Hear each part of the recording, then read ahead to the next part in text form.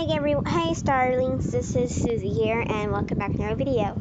Today I'm going to show you guys how to change your profile picture on DeviantArt on mobile. So let's start. First you're gonna do to press desktop site on whatever I'm using. I'm not sure. I'm using Charms. I'm not sure if it works on other apps. Other I, I don't even know. Anyways, you press on your that picture and you just select an avatar, a file, and also shout out to my friend Lowell Lauren Afton then for making this profile picture for me. So stay and confirm. Let's see, let's see. Oh, what was that? No, no, okay, let's see if it worked. I haven't tried this out yet. I just saw it on YouTube. it worked!